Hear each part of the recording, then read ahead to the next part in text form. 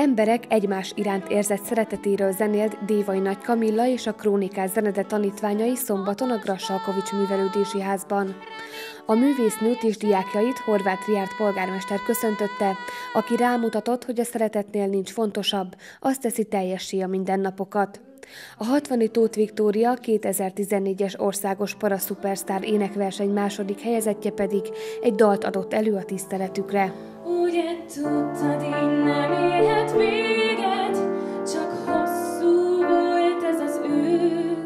Dévai Nagy Kamilla, Liszt Ferenc díjas magyar énekes azt mondja, mindenek előtt a szeretetre tanítja diákjait a krónikás zenedében.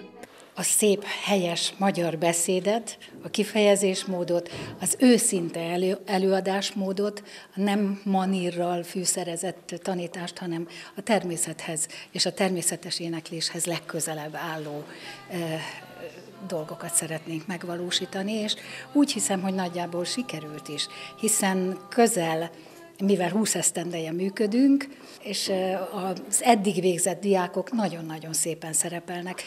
A gitárral kísért énekeket különböző dalcsokrokban adták elő, népdalokkal, megzenésített versekkel és a hazáról szóló dallamokkal szórakoztatták a közönséget. Haj meg, haj!